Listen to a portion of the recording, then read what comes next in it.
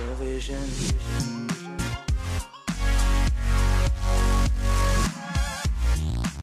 What's up everybody, how you guys doing and welcome back to another video. I just wanted to thank you guys before we get started. Two videos in a row we have hit over 100 likes. That is absolutely amazing. Thank you so much and I hope we can continue on with the support. So let's get on with today's topic. What happens to our atoms when we die? So you are only here temporarily, but most of the atoms in your body are forever. We will deal with the tiny exception at the end of the answer, but let's look at what happens to the most of you.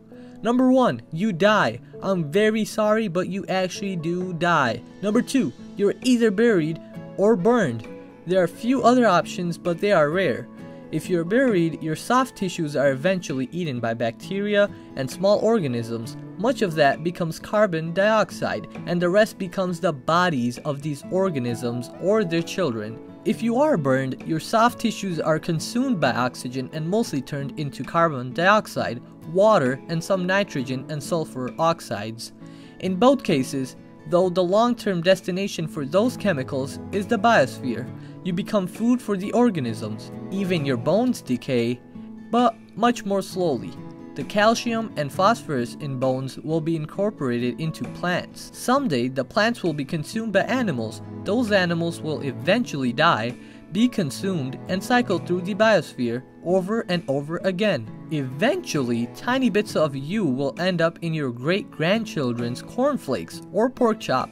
You really will live on in the life of this planet. Oh, the exception, radioactive elements, you don't have many but a few of your elements will decay into other elements before entering the biosphere. Radioactive potassium will turn into calcium, tiny amounts of thorium and uranium will eventually become lead. With the most of this decay, the new elements formed stay here on Earth. But with that last set, helium is formed. Earth's gravity isn't strong enough to hold helium, and so tiny bits of what once was you will float off into space. Some will be captured by the Sun and Jupiter, a little will escape the solar system and drift off to the stars.